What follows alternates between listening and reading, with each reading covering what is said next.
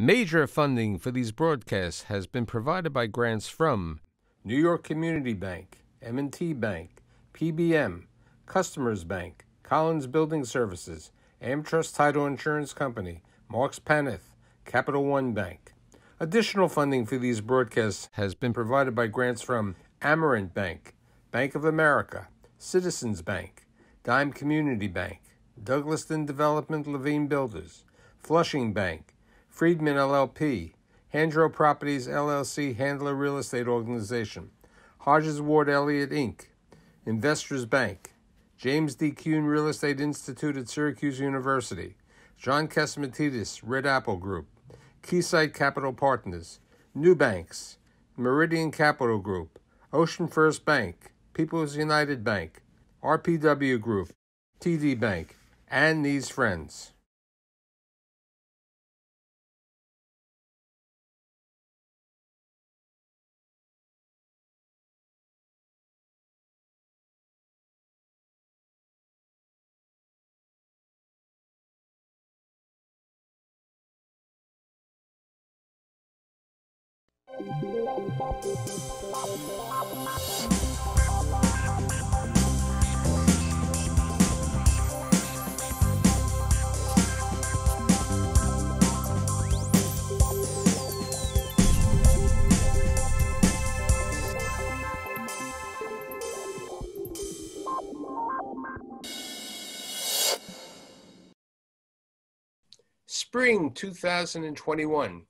Three vaccines, lots of things taking place, but people aren't returning to the office. Are people buying condominiums? Is there money for real estate? I don't know the answers, but today, with the help of Michael Werner, my executive producer, I'm having four real estate leaders provide their perspective on the market. My guests today include Aaron Appel, who is the managing director and the co-head of the New York Capital Markets at Walker and Dunlop. David Hochfelder, who is the Chief Investment Officer at the Naftali Group. Edward Suleymanov, who is a partner at the firm of Marks Paneth LLP. And last but not least, as I stated, Michael Werner, a partner of Fried Frank Harris Shriver and Jacobson LLP. So, Mr. Werner, since you're the individual who's brought together many of these individuals, how do you look at the market one year after the beginning of COVID? Um, well, in one word, hopeful. Um, you know, for a while the market just was stagnant. I think that no one knew how long the pandemic was going to last, how serious it was going to be. Um, you know, fast forward a year and we have vaccines, which is remarkable. Um, you know, we're starting to see activity pick up. Um, there were challenges at the time uh, of the pandemic in um, already percolating in, in, retail and oversupply of luxury condo um, and concerns in those areas. But um, you know, I, I, think you know those areas are going to continue. I think to have challenges as, as, well as clearly hotels, which were hit harder than any other class. Um, but you know, fortunately, we're starting to see more activity. Um, parties are talking um, about you know buying and trading. Um, refinancings are you know the life cycle refinancings are happening.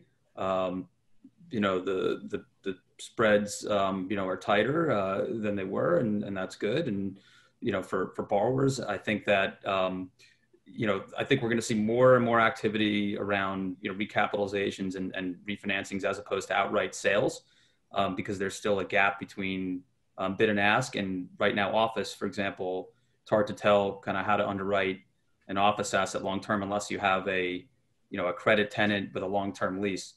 Aaron, last year you produced a significant amount of financing in a very difficult year. Uh, I noticed as late as last week, you even did an inventory loan on the Gary Barnett property, the Kent over there. Where do you see lenders today on their interest in lending on real estate? I mean, look, I think it's I think it's asset class specific. So you know, just going down the you know kind of most common asset classes, certainly in the residential side, I think that um, uh, there's been substantial, you know, short-term distress in multifamily assets with all the people that have left the city. So you've seen rent rolls on these assets dropping anywhere, depending on the location, from from you know, gross rents from 15 to as much as 35 percent. We've started to see a recovery uh, in rent rolls in multifamily assets, uh, really starting what I would say last month. I think we're all expecting that there's going to be a huge pickup um, coming into the summer and a very, very aggressive leasing season. We've seen activity in the credit space in the multifamily side. Um, there's been some transitional lenders lending. Um, there seems to be a lot of forgiveness from the commercial banks uh, as far as uh, providing capital and liquidity for multifamily. I think banks are looking more at a and lenders at a at a price per foot, price per unit basis. Um, you know, much more so than they are looking at um, you know where the in place cash flow is today. Um, I think office is you know again long term credit tenants. Uh, you know, with long durated WALT in place, there's tremendous liquidity for those assets. Uh, the credit pricing has never been less expensive than it is today. Um, anything that's transitional in nature uh, is very, very tricky. Um, and I think that's, you know, you're looking at credit providers that used to be very active in the transitional space, maybe saying, we'll do one or two of these, and then we don't want to do more. So, you know, you, you, you have a finite pool of capital available for these transactions. Um, but yeah, anything we've had that's been transitional, we've taken out to the market. We've we've found liquidity for at the beginning of COVID, double in the cost of funds to its credit spread. Today, we're seeing it. Um, you know, maybe we're 30 to 40 percent wider of where we were. So we've seen a tightening in credit there. Um, retail and unleased retail continues to be challenged as it was pre-COVID. Um, hotels, um, you know, I think you know, people are just lending on a basis level. We started to see liquidity come back, but but the basis needs to be substantially lower than where we were pre-COVID. Um, and uh, tremendous liquidity available in the industrial space. Um, you know, really for any sort of speculative development, any sort of reposition, any sort of existing stabilized transaction. Um, you know, lots of capital there. And then the for sale housing space, uh, which we'll talk a lot about with David, we've seen um, just a, a tremendous amount of of action, price action, um, uh, buyer demand in the tried and true New York City residential neighborhoods. So the Upper East Side, for example, the prime areas of the Upper East Side, um, you know, south of 86th Street, um, you know, 86 to 96 west of Lexington Avenue. Um, you know, we've seen tremendous sales volume, uh, you know, from all the way from Second Avenue in a project we've been involved with called the Beckford House to David's project and, and Miki's project on 80th and Madison. Um, there's no shortage of buyers. Uh, there's demand coming from downtown. We've seen a lot of activity in Tribeca in in the prime locations in Tribeca. We've seen the prime village very active. Um, lots of lots of liquidity in prime Gramercy Park areas, but and and prime areas in the Upper West Side. But anything tertiary, anything that's um, has been an up and coming neighborhood that isn't a prime residential neighborhood. We have seen substantial distress in those areas. And, you know, I think the demand in, in these prime New York City, you know, historical residential neighborhoods is, is, is as active as it's been candidly in the last 10 years. Um, and that really started late fall and it's really picked up speed and, and a lot of steam since. Okay. Ed, let's talk to you about your clients. You know, you, you, you have many clients. Have many of them taken PPP money is one question. The other idea is wh- where are they today with regard to uh, uh, purchasing? Are they involved with investments? Are they planning to, you know, there's a possibility of the change of the 1031. What do you see the investment sales and things ha- happening for your clients? Sure. So most of uh, the clients that I work on actually did not take any of the PPP loan money. Um, when they found out, you know, the information is going to become public record, they said, you know what, hands off, we don't need it. In, in a lot of cases, um, a lot of them actually didn't really need it. Um, a lot of uh, te- uh, landlords who have, you know, uh, office tenants, if you looked at their books for 2020 and compared them to 2019, you would think, you know, nothing happened because most of these, you know, office tenants, they paid their rent. So most of these professional firms, uh, the, the landlord collected the rents and they were actually I guess, an indirect beneficiary because a lot of the tenants uh, got the PPP loan money and paid for the rent. And, you know, the rent was one of those qualifying expenses that could be forgiven. So many of uh, the, the landlords with the, you know, office tenants, they did very well. The landlords with the retail tenants, you know, uh, not so well, obviously. Uh, COVID agreements all over the place. Um, the, the, the light at the end of the tunnel is that now that we're getting into 2021, um, a lot of the COVID agreements that a lot of the landlords entered into um, with deferred rent um, and deferred payments, now that the, now we're seeing the tenants are beginning to start making those payments. So that's good. Um, we're also seeing that um, a lot of the tenant allowance monies that landlords gave out to um, their tenants uh, before the pandemic happened uh, is being used up by the tenants. So it looks like you know the tenants are uh, hoping for a comeback sometime in 2021. Um, so you know that that's what I'm seeing. Um, I'm I'm not seeing a lot of 1031 exchange activity, at least on the clients I'm dealing with right now. Um, but uh, it is looking hopeful. You know, we got to get the office workers back to the city. Um, the number one um, concern for a lot of landlords is uh, making it safe for the tenants to get back. So they are implementing um, a few interesting things, including um, updating their air, air filters and the HVAC systems, um, using uh, ultraviolet light fixtures and uh, ultraviolet light systems um, in the HVAC systems as well. Um, and uh, actually using, tech, I guess this is all technology, but uh, uh, antibacterial tape on high touch points like elevator buttons and doorknobs, which helps kill uh, bacteria and viruses.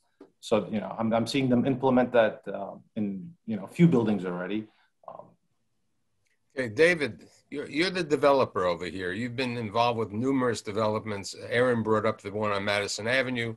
You know, you have other properties. How are how are condo sales, and how are you looking today? Do you think it's a good time to buy property to develop?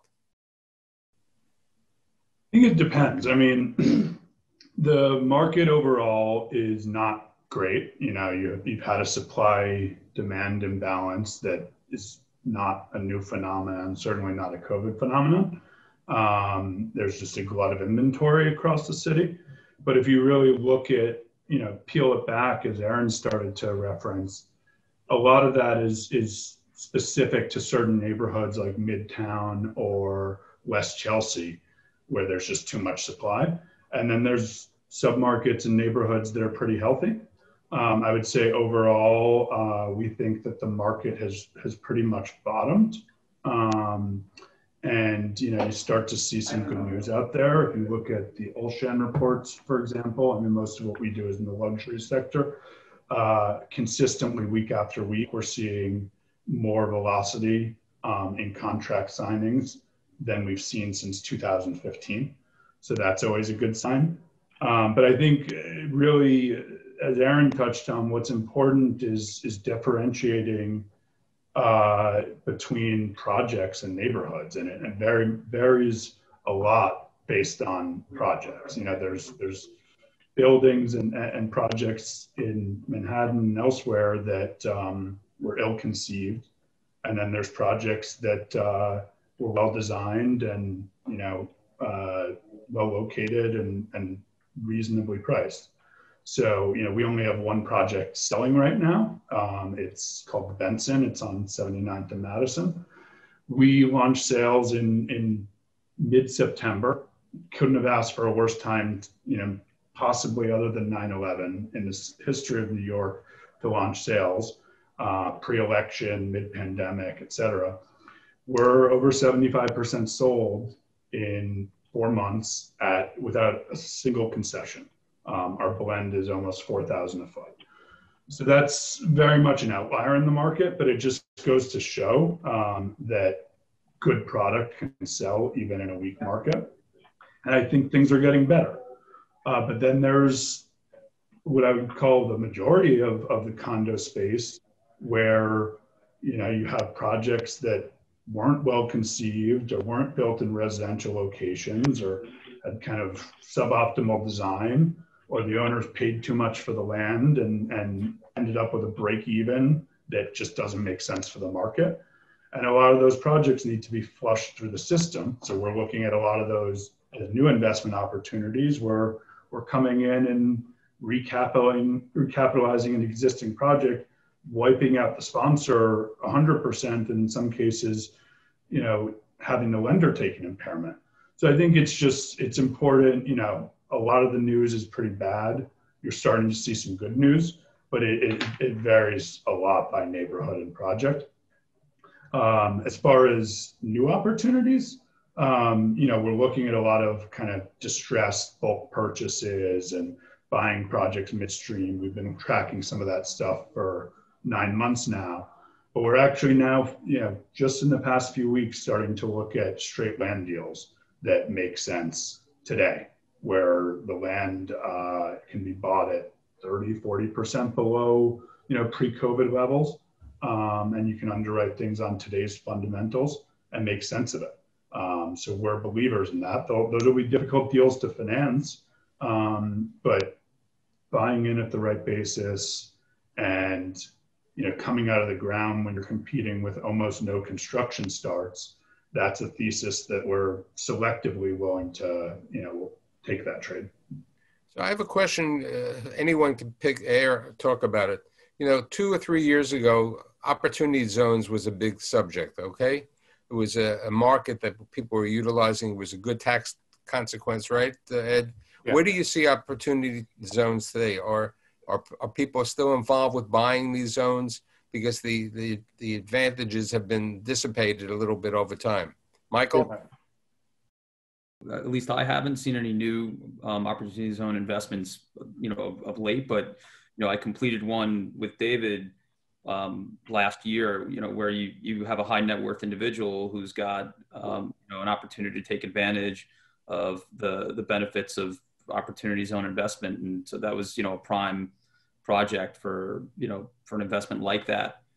Um, you know, Ed, uh, you know, perhaps, uh, you know, from an accounting perspective, are you seeing your clients come to mm-hmm. you and ask for mm-hmm. opportunity zone investments? Where no, not as much as they did about two years ago. We, we actually had a joke. Uh, in, in, the office that you know as soon as all the PPP uh, funding came out, you know opportunity zones were so two years ago. Nobody's talking about them now. Everybody's trying to get these PPP loans, figure out how to get them forgiven. Uh, and you know nobody's talking about opportunities. It's, it's it's no longer the flavor of the month, as they would yes. say. Okay, you know right. over there. Right. But with All regard right. to flavors of the month, what what's your individual thoughts of how many people are going to return to work? Okay, you know right now many people say that it's approximately 15 to 20 percent of the people working from home, uh, are working at, in the office. Where do you see this and when do you see this changing? Because I think unless this changes, the office market's going to be hurt. The restaurant market is going to be dissipated, decimated over there. The hospitality, you know, you, need people to return to work. Michael? I think people genuinely want to return to work. Um, you know, the vaccine certainly will help. I think um, getting people to the office safely was, you know, at least for us where our office is all the way downtown, you know, was the, was the biggest concern, not so much, you know, how to keep people safe once they're in the office. But I think, you know, the vaccine rollout um, will undoubtedly help. I expect, I hope that, um, you know, by the end of the summer, by the fall, um, you'll have most people back in the office. Um, will it be five days a week? Probably not, um, at least not initially. Um, I do expect over time, you know, three years, four years, five years, who knows, that we'll be all back in the office and the culture will shift back to being back in, you know, work from work, as it should be. Um, you know, I understand that, you know, some people may want to work from home one day a week or two days a week. And I think there'll be more forgiveness around that and understanding now that we've seen that people can work remotely successfully and productively. But I do think over time, people are going to be back in the office. And I think that's a good thing. So here's a question, you know, maybe for Aaron and Ed. Uh, it's more on co-working. What's your thoughts about the future of co-working now? I'm in a convened space now at 530 Fifth Avenue. We signed a lease to move to One Vanderbilt in, in August, um, which we're excited about. But I mean, look, I would tell you that I think co-working has a, a real a real future. It, it, it was an existing business, you know, historically. Regus had a had a big co-working business uh, as well as a couple of other companies um, you know, candidly, there was too much expansion in the space, clearly. Um, and, you know, maybe there was too much capital thrown at it, um, you know, what, whatever it is, but there's certainly a need for co-working. Uh, there always has been, there always will be. I think that, you know, companies like Convene and, and WeWork and a couple of others have certainly helped, in my opinion, advance um, the office market, uh, amenitize it, uh, make it a more enjoyable experience uh, a better workplace for, for people to collaborate.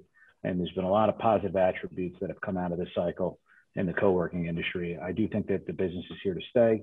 Uh, you may not see the robust expansion that you did, um, but I also at the same time think that in an environment where tenants are relatively unsure about what their demand needs are going to be going forward, that you know the co-working option and the flexibility to move into flexible space and to give people the ability in the timeline to not have to commit long-term capital to figure out what their actual space needs are going to be is going to be a huge beneficiary for the co-working market.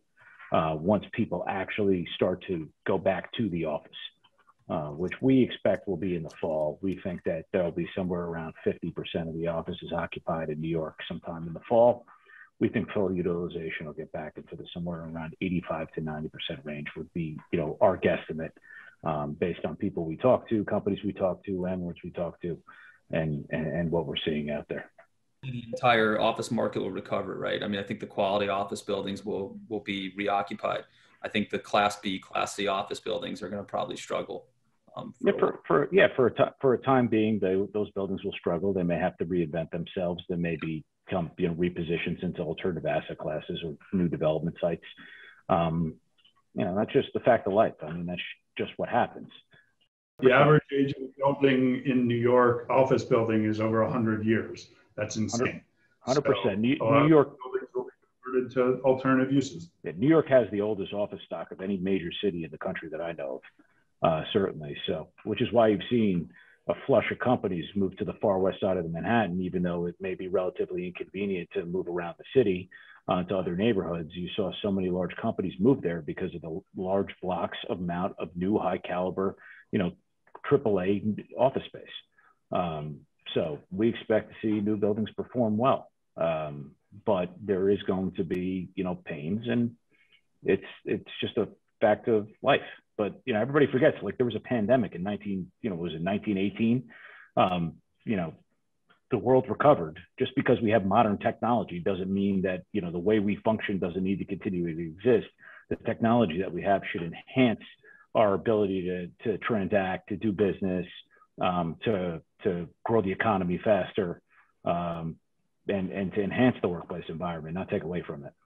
What about emerging neighborhoods? Okay, everybody was very up on the Bronx. They were on the they were up on the Bronx partially because of the opportunity zones, but you know everybody thought the Bronx is the next opportunity, the next Williamsburg. I know David, you bought a property over in Williamsburg. I'm still positive on Williamsburg. But where do you, where do you see as the next opportunity, the best place? Is it the far west side? You know, is it the Bronx? Is it Harlem? Is it Flushing? Where where do you see? Ed? I'm in Flushing, and I can tell you that residential sales here in Flushing have been, you know, through the roof. It's like you know, the, like there's been no pandemic. So Flushing, Forest Hills, um, Fresh Meadows, here in Queens, you know, residential sales have been really, really high. But I don't think it's. I mean, I think it's always been, you know, high. Yeah, I mean, none of those neighborhoods we just mentioned are emerging in, right. in my book. They're, you know, maybe less established or just further outside the core. Um, I don't know if you can pick a neighborhood in New York that's really not emerged that, that has potential. You know, there's, there's I think Greenpoint is, you know, is going to have a lot of building and, you know, some good uh, infrastructure changes, but I don't consider that to be an emerging neighborhood. Um, I think if you track south of Williamsburg um, along the waterfront, there's going to be a lot all the way into Vinegar Hill and Dumbo, but that's I think that's already baked into the pricing. Michael, I was going to say I, I, think emerging asset classes is more you know more topical, right? I, to David's point, I don't think there's a neighborhood that hasn't been mined yet. There was a lot of development and speculation over the last cycle. But in terms of the emerging asset classes, I mean, I forget who said it at one point, but you know, the industrial explosion is is here to stay. Um, you know, we're doing a lot of work right now with an industrial investor, developer, and life sciences as well. I mean, life science is definitely growing and continuing, especially you know uh, in Long Island City and other areas. Uh, I think it's it's a great. Here's a quick question because we only have about three minutes left. What's your thoughts about if you're a tenant looking for space?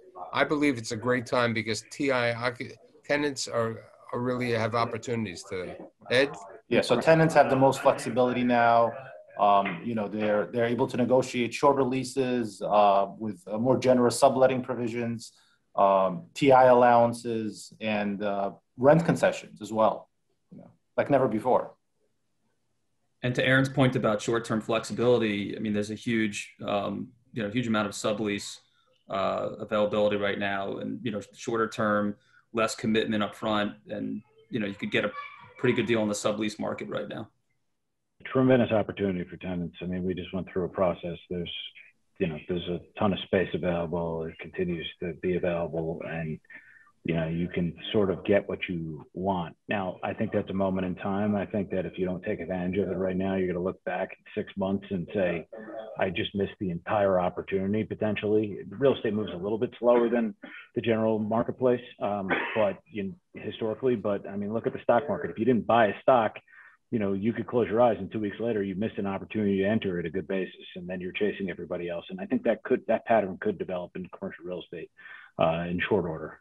I, I, agree with everything said on the on the leasing side, and then on the investment sales side, I echo Aaron's sentiment. I think there's going to be a relatively short window to buy New York City cheap.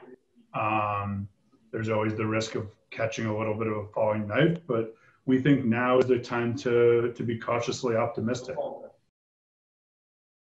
So, as they would say, predominantly, you know, as I have my crystal apple over here I, I think it's it's relatively shiny in the future. It's still a little dull, but maybe six months, nine months from now, it'll be a different thing. And at that time, I hope to have all of you back, and I'll be back in my regular studio to talk about it. I'd like to thank Aaron, David, Ed, and Michael, and I'll see you next week. Thank you.